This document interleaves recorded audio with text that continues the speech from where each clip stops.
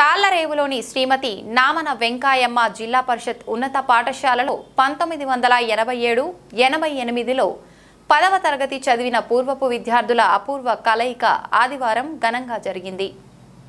కలిసి చదువుకున్న సుమారు వంద మంది పూర్వ విద్యార్థులు ముప్పై నాలుగేళ్ళ అనంతరం స్థానిక సూర్యభాస్కర కళ్యాణ మండపంలో కలుసుకుని ఉల్లాసంగా ఉత్సాహంగా గడిపారు. అనంతరం తమకు చదువు చెప్పిన గురువులు టి. సాంబశివరావు అరధాడి శ్రీ రామచంద్రమూర్తి అనంతలక్ష్మి పినపోతు నరసింహమూర్తులను శాలువాతో ఘనంగా సత్కరించి పాదాభివందనం చేశారు.